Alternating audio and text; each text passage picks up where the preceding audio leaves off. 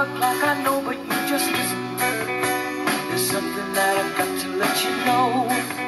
This is you, this pillow that I'm hugging and I'm kissing. And one more thing before I let you go.